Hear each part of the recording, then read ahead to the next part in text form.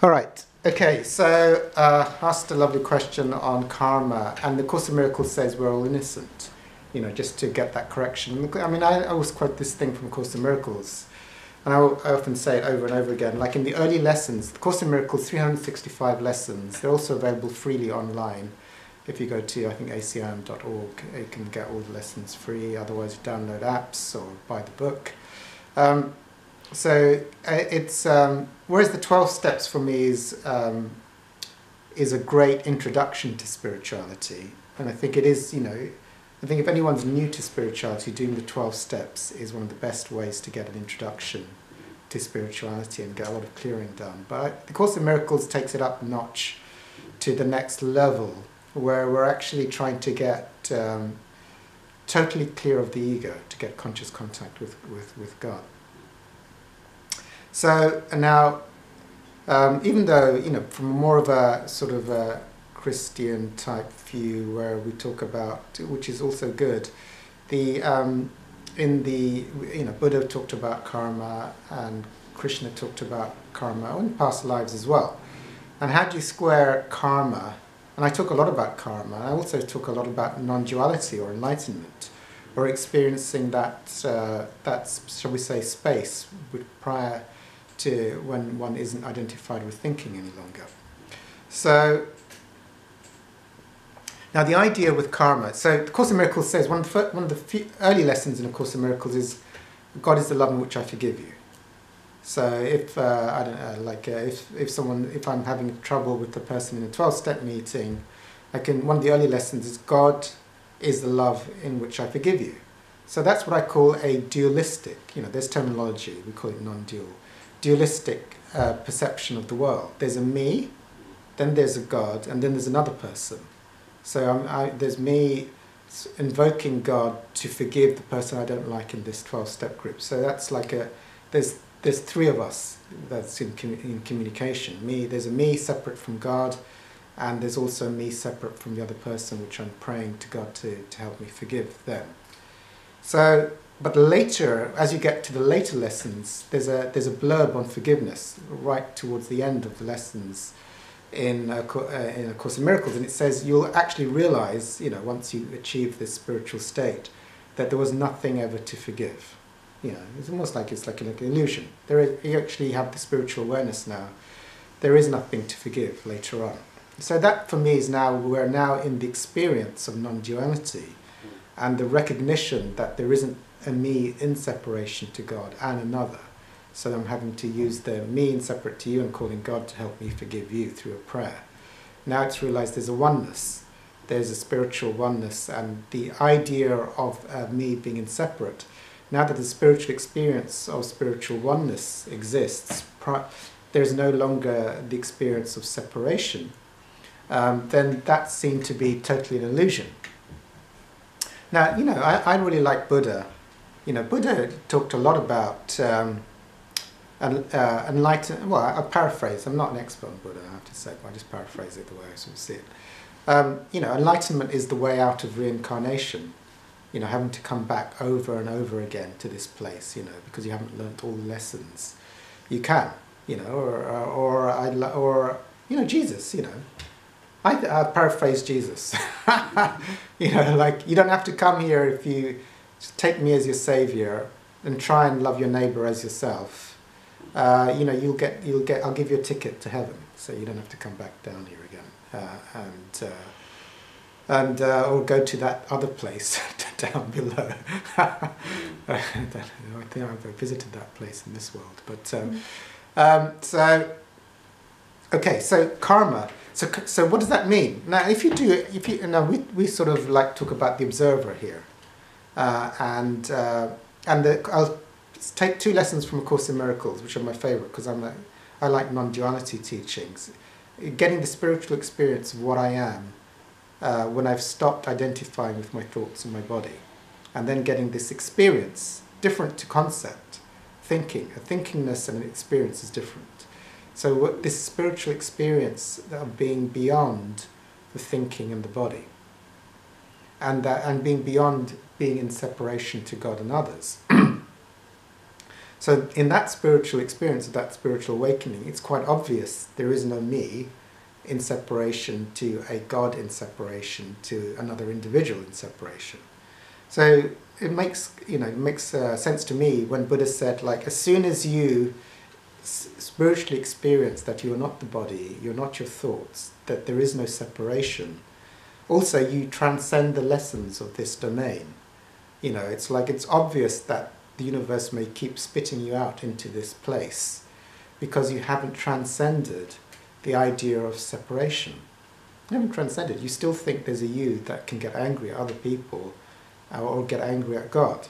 So you haven't had that spiritual awakening yet to realize that uh, as, a, and as a spiritual experience that there is no me in separation to another and the whole idea of a me personally being angry at another person in separation is an illusion. See, that, that dissolves. You can't. Because you're not identified with the body and your personal story any longer. And so you would perceive anyone else, or you would witness anyone else who's getting resentments to be suffering, uh, suffering separation anxiety, shall we say, believing they are the body and they're thinking. So, um, so for me, it's like uh, you know you're destined. There's a high likelihood of coming back into the body, and feeling identified with the story, the individualized story of the body. You know, like I had a bad upbringing and had bad parents, and uh, I don't like you because uh, you know of your hairstyle, whatever it is. You know, so that can't really happen uh, when you when you're spiritually awake because you now realize you're experiencing the spiritual oneness and something beyond separation as a spiritual experience. So, and also that pull. You know, one of my spiritual teachers often said, "This is purgatory." You know, uh, there's a high likelihood. The the great thing about purgatory is that it's a great place to learn forgiveness, uh, because um, you know you're forgiving yourself, you're forgiving God as you understand God, uh, and you're forgiving others. And when does that lesson stop? When do you not have to keep coming back into a place or experiencing, um, you know, this idea of having to forgive myself, others, or, or, my perception of God over and over again? When, when will that collapse? And maybe when have I transcended this world so I don't even have to come back here? You know, either I get transported to the heavenly domain or I don't even have to come back to any kind of dualistic domain ever again. There's a slight difference between no, I won't go. That's not. You know, that's the question. So, um, so you can see, like, now here's the thing. You know, from an from an enlightened perspective, from the witnesser of the body and the thoughts, it's obvious there's nothing to forgive, and there is you can't pick up a personal story because you're not your personal story, and you can't attach to an attack from another inner body because you know that there isn't such a thing. Even though you might witness what's going on in the world, you're not, you, you can see it from a more compassionate uh, witnessing field in that it's not real. You see, so the Course says, like, it's an illusion, it's not real. That's true. Once you're in a more evolved space, you realize it's not real. However, karma, if you take on the karmic view, and I would agree with the karmic view, like if you are attached, if you're identified with your body and your story and what your parents did to you, and the politicians of this world, then the experiencing in duality feels real.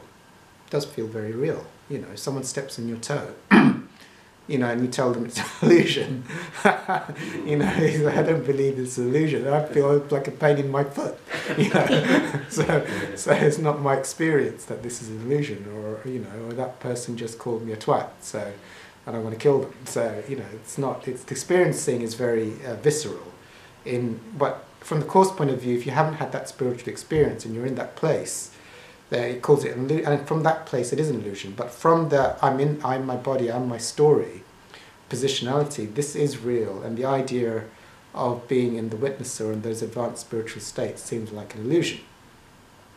So it's practical then to teach people who are identified with their body and their personal stories about karma or forgiveness. you know that uh, that uh, you know until you forgive when you forgive something because course talks a lot about forgiveness or that all my thoughts are meaningless or i'm not my body i'm free for i'm as god created me or all my thoughts are meaningless so these are transcending the hooks to being in separation if you didn't identify with your thoughts at all they would disappear. You wouldn't, have, you wouldn't latch onto them. And therefore, your whole personal story would be gone, you know, if you weren't latching onto your thoughts. Then, you know, the only thing you could latch onto is your body. So if you are identifying with your physical body and anything that's going on in the physical body, then again you'll be hooked into a place of separation and location. and then you'll make the automatic projection onto others. Well, if I'm a body, then other people are bodies. That automatic projection goes. Or if I'm my thoughts, other people are their stories as well, because I'm my story. So that automatically gets projected out until you clear that. So, so from a dualistic point of view, karma is real, or you need to forgive to get to that place where there's nothing left to forgive. If you've forgiven, you know, what is 100% forgiveness or radical forgiveness means that there is nothing left to hold on to, can't repeat you can't hold on to.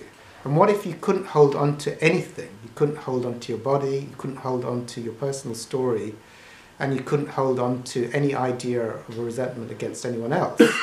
then you wouldn't have a story. You would be in that spiritual awakening place where you're beyond, uh, you're beyond separation. So, um, so karma, so enlightenment, once you're enlightened, uh, if, you, if, if you were still perceiving the body, you might go on to the next place, you know, not having to be in this place. But if you're witnessing the body and you're witnessing everything that unfolds in life, and you're not your body or your personal story, then you will, of course, witness that other people are not their bodies or their stories. And actually, whatever happens to this body and other people's bodies, there would be a, a higher knowing or a higher awareness, shall we say, that this is an illusion, it's not real other people who are identified with their stories and their bodies are thinking, well, I'm dying. Uh, you know, I have to eat this donut now because I can't not eat this donut, whatever it is. And they're at the bondage of their separation and the programming of their separation. And so they're now limited by this software which is driving them by this, these limited programs.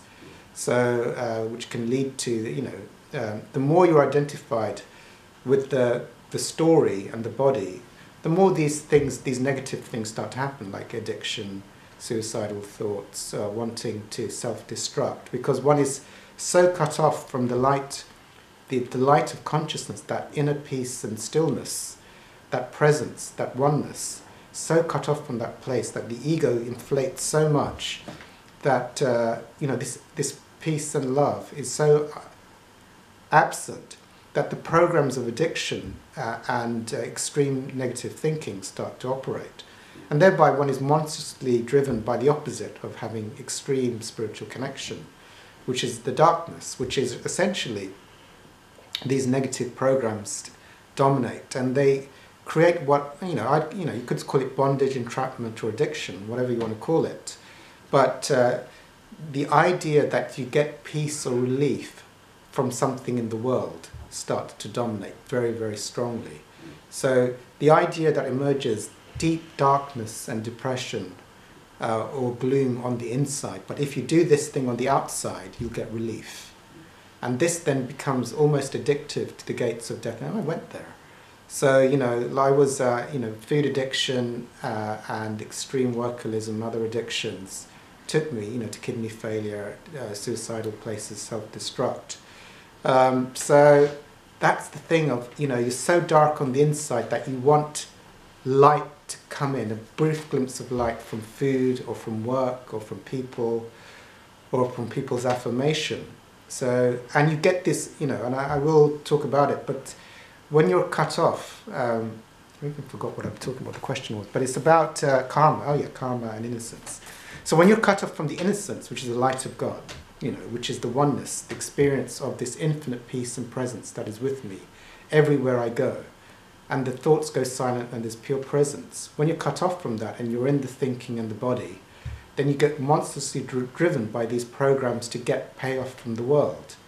If I could only have that glass of, uh, you know, alcohol, that would give me a temporary blip of relief, you know. Or if I could have alcohol non-stop, maybe I could find a way out of this world you know, so I can be happy all the time. You know, I'd be like, you know, if I could get an unending supply of food, make sure I get an unending supply of food and sugar, You know, uh, God forbid there'd be a donut shortage in the UK. You know, I'd have to move to another country. I go like, are there any donuts in Greece or in Croatia or whatever it is? You know, because or in Sweden because I think we're having a donut shortage in in the UK because you, you, I'm just driven because it's too horrible to experience what's going on without the relief of of that uh, the next uh, donut or the next drink so what happens when you're when you're cut off from the innocence, shall we say, you use the word innocence or the light, or this peace, which means I don't need anything from the world. Don't need to go to the future, the past. Don't need to go to a donut. Don't need to go to a vodka. Don't need to go to a girlfriend. Everything is fine now, and there is nothing else I need to get, do, think, or grab from the outside to get relief. There is. It's enough right now, and will be enough forever. There's no urge you know, the, like the seven deadly sins or the, the defects, the four defects of character are like it's not enough now. You know, I need to control somebody to feel enough. I need that donut to feel enough. I need you to like me to feel enough. So all of the whole ego and separation and the, the need, the urge, you know, to grab something, to get something, to eat something, to drink something, to get someone's approval that can only exist in du- duality or the, or the disconnection from the innocence or the light of God or the oneness. Because now is enough in God's consciousness when you're out of the duality or, or being attached to your story, your ego story, and your body means automatically separation. Now, so if you're only very slightly attached to your story and, and your body, then mostly you, you, you're okay now. It's mostly I feel quite chilled out right now. But to the extent that the thinking and that identification with the personal story goes, then you, you, one is driven by monstrous, monstrous ideas to try and get relief from the world, and they can become addictive. My story is one of addiction, and then that addiction can lead to insane things where you're eating and eating and eating until you get kidney failure, and then the doctors tell you, which is part of my story, you've got kidney failure, here's a list of foods you have to avoid or you'll get a heart attack. High potassium and bananas. And this is true. They let me out of the hospital and I bought a bag of bananas and uh, ate the bag of bananas and they gave me a blood test and they called me back from the, on the mobile, come into A&E, you're about to have a heart attack. You know, so is that, I mean, no sane person would do that, but when you're driven when you're driven beyond, uh, beyond all reason and rationality to sort of suicidally self-destruct. But you know, that there was like to not do that would be, that's the only hope I've got to grab that food. Otherwise the feelings, uh, the things that would come up would be too dark to face. So um, karma. So karma, what is karma? Karma, karma quite simply is your ego programs and the repressed feelings behind the little packages of karma you could say from like even we don't have to go to past lives because people may find that too difficult. Even from this lifetime, you know, if I'm angry at my mother uh, at uh, three years old for not buying me donuts when I told her to go out and do some shopping, you know, so I would have developed. A, I would have, I would have now have a new, a new karmic package that I have to clear. You know, I now have a lot of repressed anger and a program of anger against my mother. So there's a little thought program or, or set of belief systems and a, and a package of repressed anger.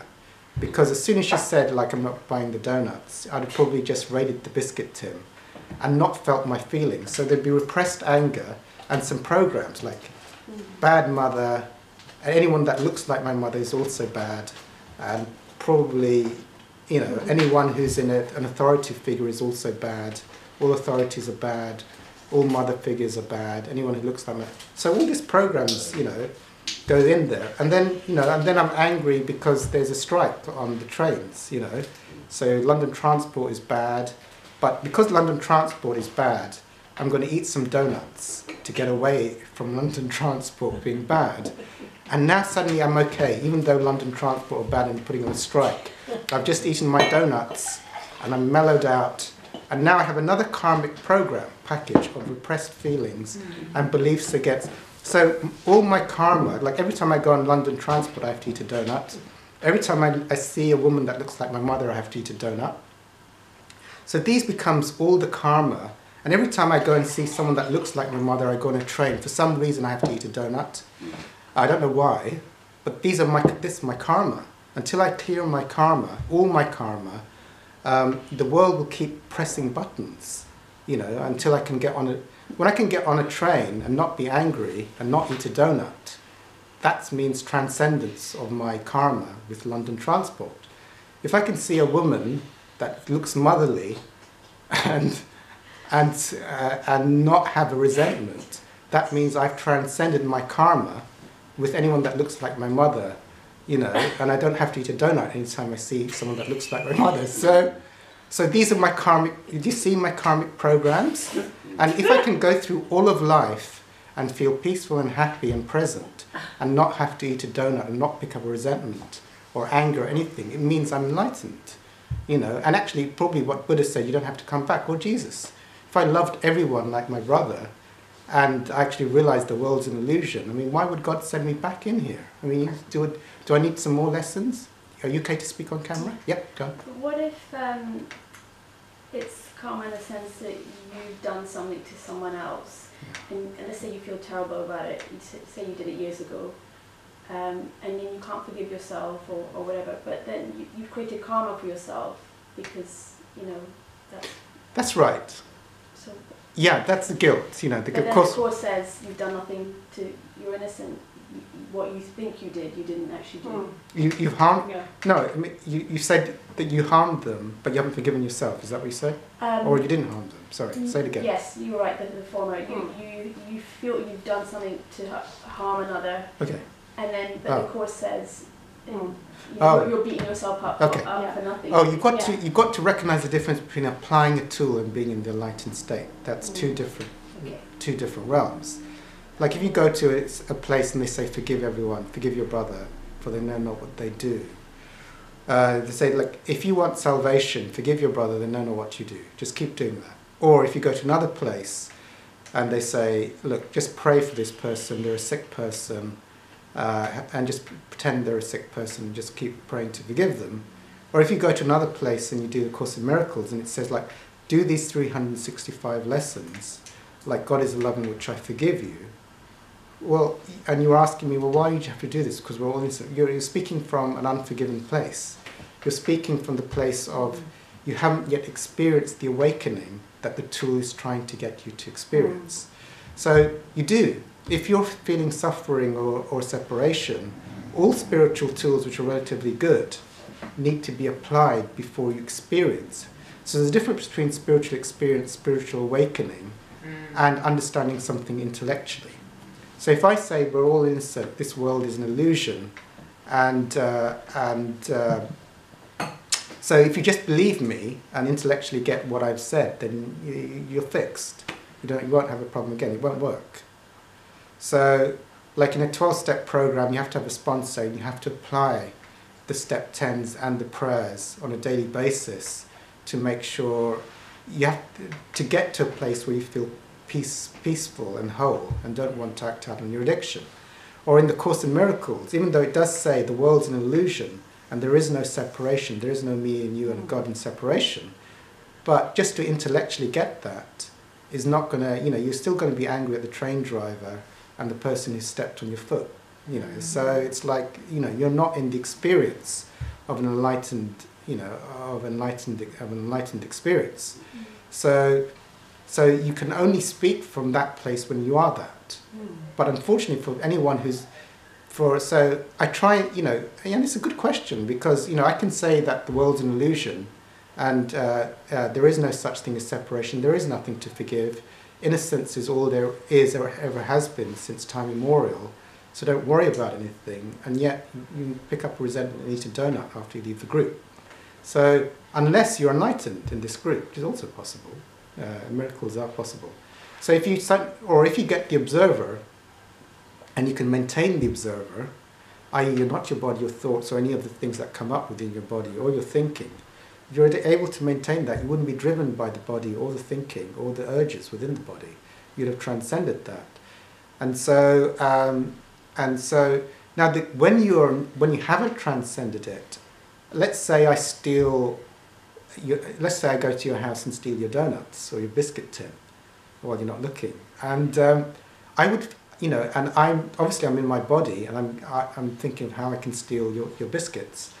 And uh, you go to the toilet, I take all the biscuits and sort of say like, and then you say, look, these biscuits have gone missing. And I say, it wasn't me. I think there's someone popped into the house when we weren't missing and just Yeah. ran it, ran it off. So I will then feel guilt. Mm. I will feel guilt, you know, even though I might rationalize, oh, she, won't- she won't notice the biscuit's gone. I will feel guilt because I'm still in separation. That wasn't a thing that you do from a place of innocence and wholeness. If I'm in an enlightened place, I don't need to steal your biscuits. You know, I wouldn't need to steal your biscuits. And I'd have the spiritual awareness that that's. And why would I want to steal your biscuits if I'm blissed out in, in spiritual nirvana anyway? I wouldn't want to take your biscuits. I've got something far better than a, than a biscuit fix from your biscuits. So it's like it's not even going to enter my hand. But if I am in my body and my thinking and thinking about your biscuit tin, then I will steal your biscuits. But then, then I will take on, as the Course says, guilt. Guilt then leads to further separation.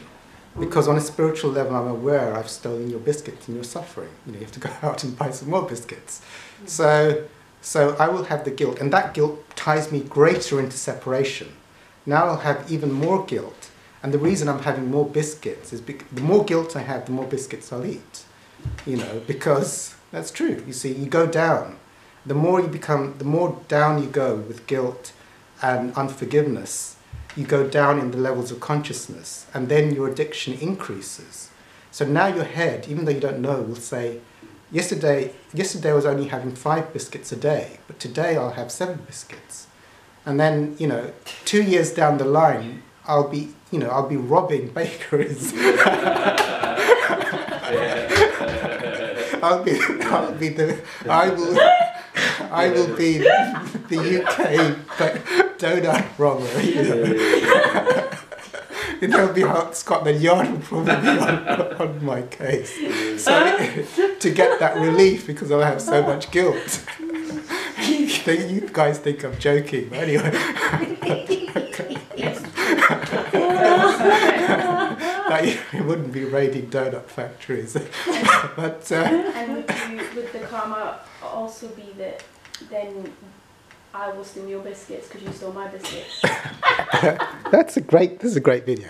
But yes, it does tend to happen Yeah. because as soon as you apply, you see, this is the thing with spiritual work. Um, when you start to apply spiritual work, say, "Look, I'm sorry, everyone. Uh, I'm going to be a good boy now," um, and you stop trying to raid everyone's biscuit tins. Usually, the usually things start to come. In a in a 12-step program, we call, we say we need to make amends as quickly as possible. Um, you know, otherwise, if you don't make amends as quickly as possible with every, everything you've done, uh, you know, Buddha would, you know, eh, I- like Buddha might say, do good deeds, or a 12-step group might say, like, say sorry as quickly as possible and make amends for everything, all harms you've done to all other people. That's why addict 12-step programs, I think, are so powerful. You know, I have to go back to your, knock on your door and say, look, um, I'm so sorry I stole your biscuits. And either I'm happy to, to give you, refund you the money or buy you a new biscuit tin. Or if you think I deserve it and won't report me to the police, I'm happy for you to do that. But I do sincerely apologize and I would like to make it up to you in any way possible. So that then clears the guilt, yeah, and also clears my karma. Uh, but if I just sort of said stop stealing biscuits, then you know, if you look at, uh, I've talked a lot on this. I have to, I'll, I'll go for another question. But yes, you do start to get people stealing your biscuits. You know, even though you're pretending to be nice now, a lot of bad can happen. Does that answer the question? Yeah, yeah. It seems like if you release the guilt, you release the karma. Yes. Yeah. Yeah. So it's an inside job, really. Yeah. It's an inside job. If you release the guilt and you transcend your separation, nothing can harm you anyway. Even if someone did steal your biscuits, it wouldn't bother you. Mm, Okay, thank you. Yeah. I could go on. Uh, that's- that's great.